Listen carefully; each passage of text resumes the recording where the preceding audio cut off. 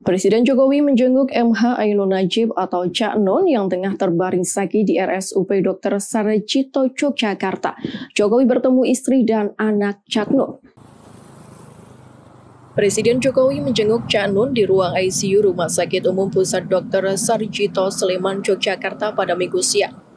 Jokowi datang ditemani Menteri Sekretaris Negara Pratikno Selama sekitar 15 menit, Jokowi bertemu dengan istri Cak Nun, Novia Kolopaking, serta anak Cak Nun, Sabarang Mowo Damar Panulo.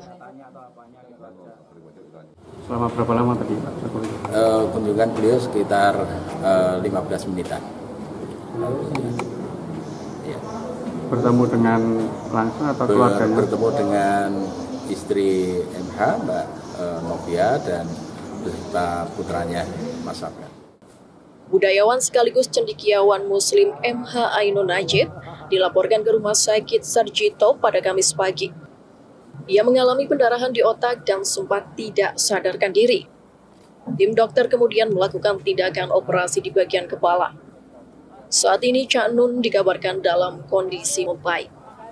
Mikael Aryawan, Kompas TV, Yogyakarta.